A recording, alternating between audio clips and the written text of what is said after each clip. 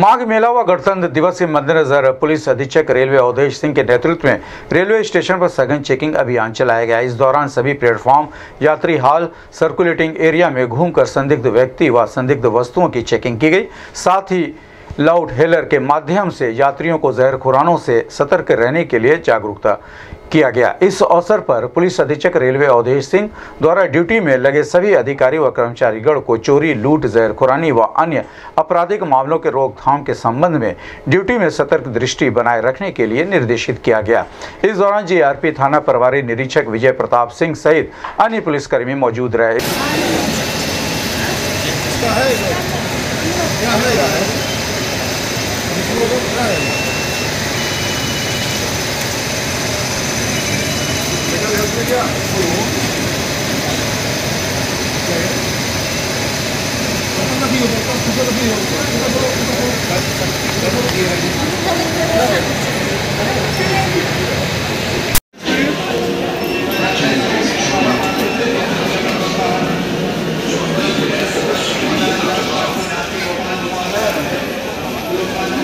इस संबंध में गोरखपुर संवाददाता से बात करते हुए पुलिस अधीक्षक रेलवे अवधेश सिंह ने कहा। आयोजित खिचड़ी मेला कार्यक्रम तथा अयोध्या धाम में श्री राम लला के प्राण प्रतिष्ठा कार्यक्रम और 26 जनवरी गणतंत्र दिवस कार्यक्रम एवं प्रयागराज में आयोजित माघ मेला कार्यक्रम को दृष्टिगत रखते हुए सभी रेलवे स्टेशनों पर सिविल पुलिस, रेलवे पुलिस और आरपीएफ के द्वारा एक विशेष सुरक्षा प्रबंध किया गया है, जिसके माध्यम से प्रतिदिन प्लेटफार्मों पर सर्कुलेटिंग एरिया और महत्वपूर्ण ट्रेनों को एस टीम द्वारा क्यूआरटी और विशेष दस्ते द्वारा चेकिंग की जा रही है।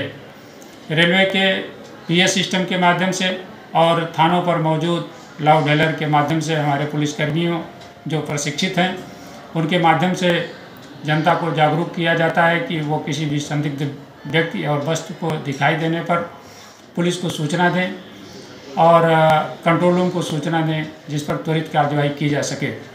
सोशल मीडिया हमारा सदैव सक्रिय रहता है और किसी भी प्रकार के अफवाह अगर कोई फैलाने की कोशिश करता है या कहीं से कोई सूचना मिलती है तो उसका सुव्यवस्थित ढंग से खंडन सोशल मीडिया द्वारा तत्काल किया जा रहा है।